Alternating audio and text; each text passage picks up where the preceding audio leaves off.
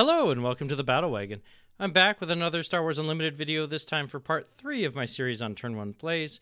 I originally intended this video to be quite different, where I was looking at some of the initiative aspects. However, I found myself really interested in an aspect of the US 5K tournament, specifically the top 16, that no one has actually ever uh, uncovered from what I've seen or looked into.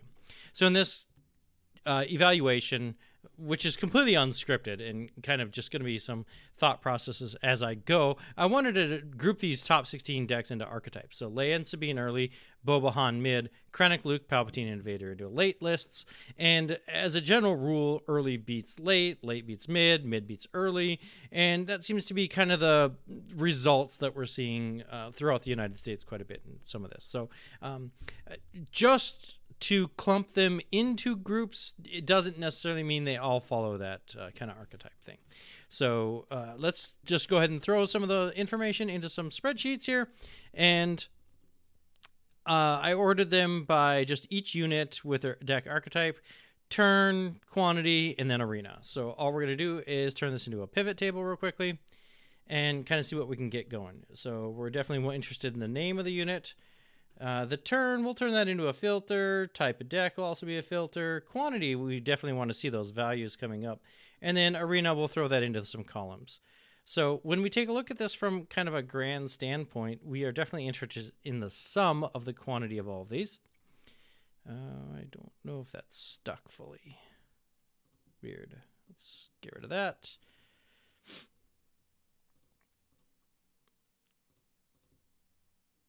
There we go, success. Now we want to grab this into uh, just just a recommended chart is fine. Uh, something that we can see the data in uh, a large point. Uh, let's go ahead and add the arena. So orange is going to be space and blue is going to be the ground. So here we have wing leaders being the most plentiful. Red 3, Super Laser Tech, Fleet Lieutenants, Viper Probes, all stuck up here, surprisingly pretty high. So the things we want to know are what are late decks using, what are early decks using, what are mid decks using. So let's go ahead and we'll just start with um, conglomerate of all of the. We'll go early decks first. Okay, so early decks are using uh, a lot of space here in the very beginning, uh, first two turns, things like that. But let's kind of break that down and pull off turn one from this and see what kind of split we have. So our chart's a little big. I think we're losing some of the info over here. So it's a 28 to 53 split. So eh, 40% space. I don't know what that would be actually. Um, let's get a calculator out. All right, so 28 out of 81. So we're looking at 34.5%, 34.6% are going to be space units on turn one. So well, one out of three. That's that's kind of an interesting statistic uh, to be looking at. So of of starts, like sure you could have starts where you're going to have both options available, but you're more likely going to have the ground option available on your turn one play for two cost as it is. So this is going to be your early plays. So you're definitely going to be able to have to deal with those Green Squadron A Wings and Alliance X Wings. Sabine is interestingly more plentiful than the Marine. Uh, and, and interesting that's because of the yellow Sabine list that was present. Also, interestingly enough, this Sabine does a lot better into things like the Crafty Smuggler than a Marine does because Sabine will kill it in one hit, things like that. Uh, so does the Rebel Pathfinder, which we see. So we do see a little bit of specking towards things that are meta, that are going to have that shield. Both of those kill uh, Luke's uh, Alliance uh, dispatcher, things like that. Let's check out the um, turn two place. So again, we are still in the aggressive fast decks, and we see about a 50-50 split closer in space versus uh, ground units here.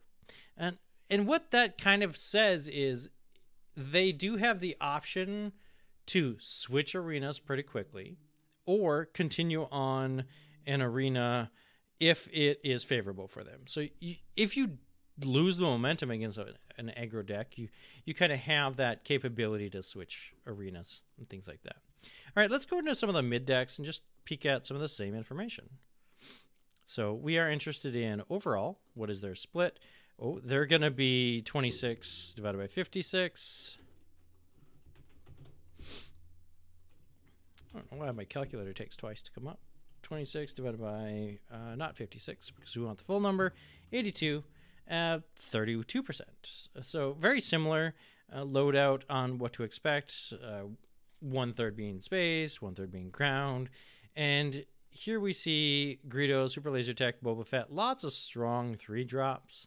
Um, cartel spacers were used much less than I expected from what I'm seeing in a lot of the Boba decks and things like that. Uh, probe droids, uh, portion of those are here and things like that.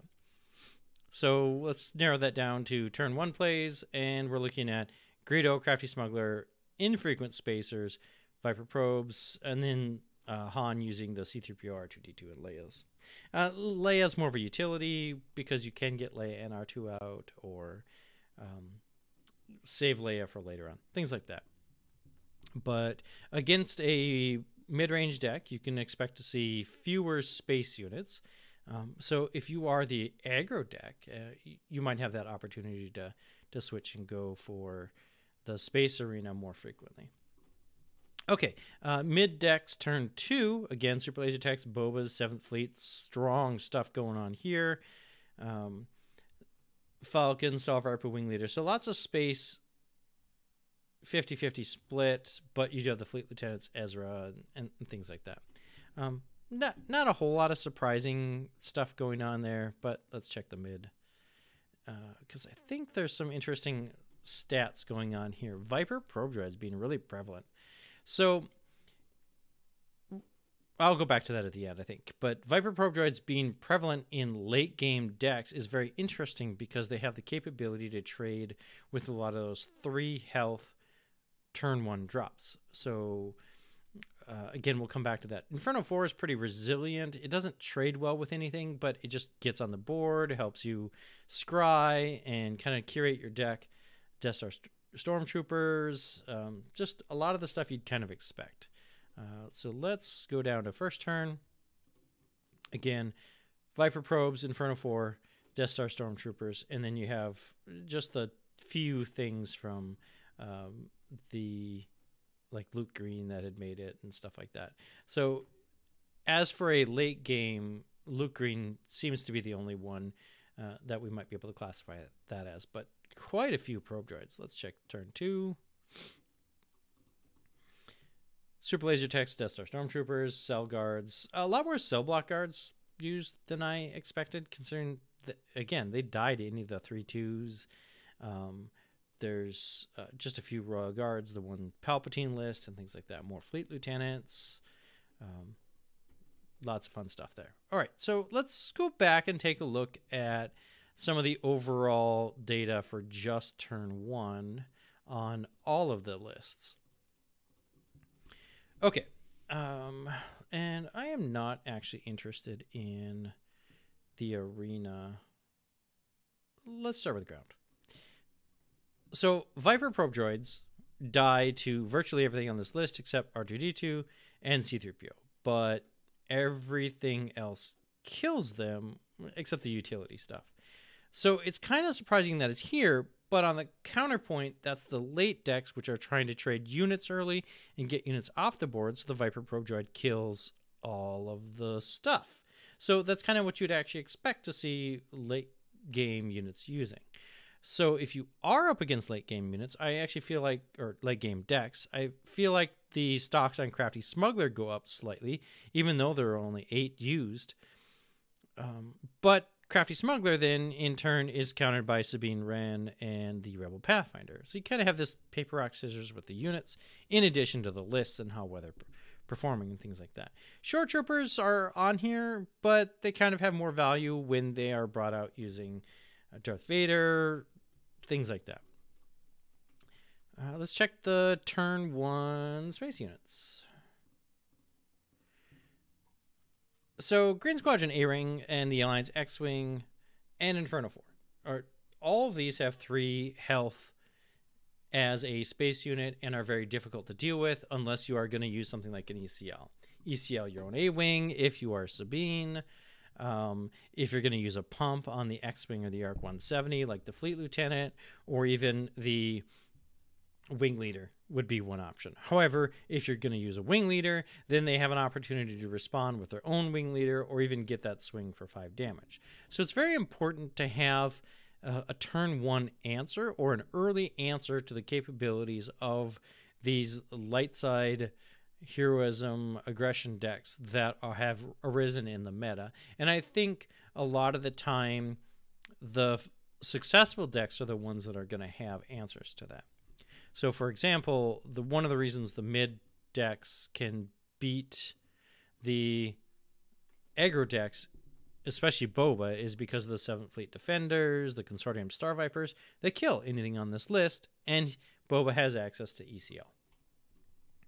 Notably, on that is also if they do not do it as their first action, maybe even skipping their turn and doing it second turn, and then play the Greedo with the resource that Boba has readied, then the rebel player has a chance to use their own wing leader on them.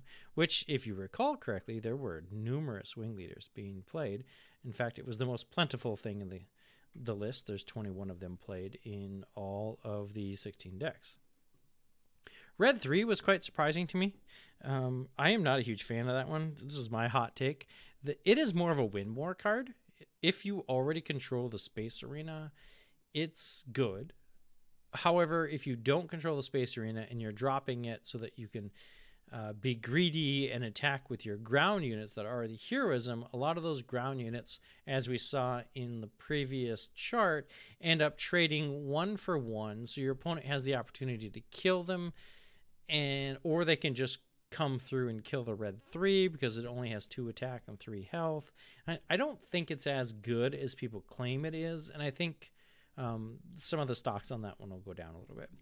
The Falcon is also interesting. It does appear in six uh, quantity, which is the two decks that it could appear in, um, Sabine and Han. So, as a turn one Han play, it can actually kill any of the turn one drops from any of the aggressive decks, which is definitely a factor that should be involved. And and I think some of the Han mid range or Han late game decks that have started appearing do really well against the the aggro decks. And I think that's kind of you know, not entirely unexpected. Regarding the space units here, I, I did put out in my very first video in this series a, an evaluation of all of the things as to why the 2 3 space units are bad for the most part when it comes to trading with other um, units so I think that's all I really have for today. I don't really have any other takeaways, but this is just kind of a thought process that I had gone through and wanted to share that with you in kind of an unscripted format. Thank you, everyone. Have a wonderful day.